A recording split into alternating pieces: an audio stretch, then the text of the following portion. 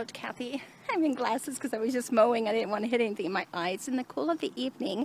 And I would, I live in Utah, moved here 11 months ago um, from Washington State. And I actually would imagine that I'm in Washington right now because just next door, I was mowing and I saw the neighbor's cat just like staring across at the other yard. And it was peculiar because I wasn't startling it, which I always do. And I took a look at what it was mesmerized by, and I can't see it right now. Oh, maybe it jumped. It was a, a deer.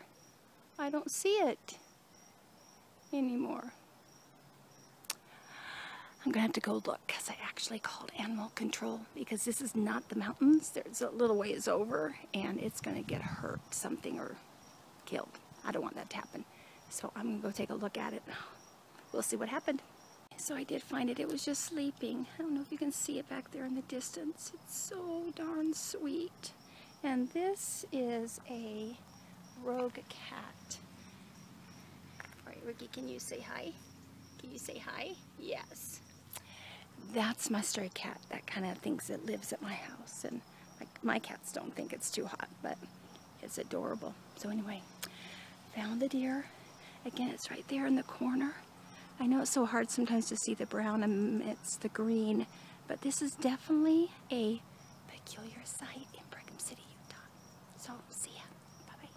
Okay, so there's the officer right across the street. Can you see the officer's car? I don't know that you can, but I just got schooled on on Utah and deer. He says they're here all the time. I just never have seen them. But they do come down from the mountains. And actually the mountains aren't that far from us.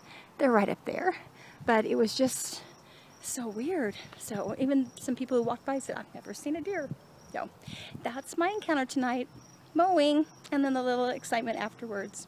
So Utah isn't so far from Washington in the wildlife. See ya. Take care. Bye.